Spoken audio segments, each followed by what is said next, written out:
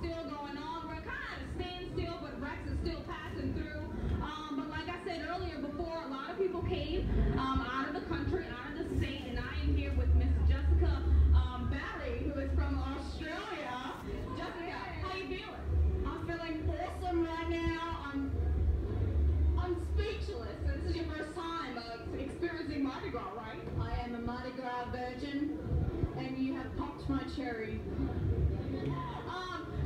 Can confirm that Jessica is really from Australia? I mean, we need some confirmation. This could just be a way that you're getting a whole bunch of throws. And Definitely from Australia. Queensland, Australia. She's the best. Like, I have a lover. so I'm guessing you're getting some really nice throws. I see the flowers, the beads.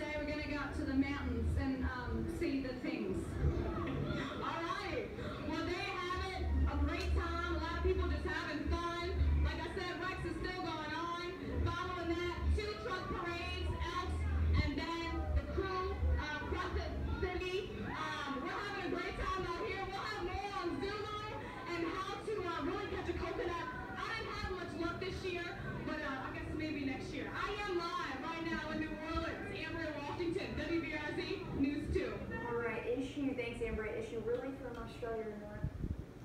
Come.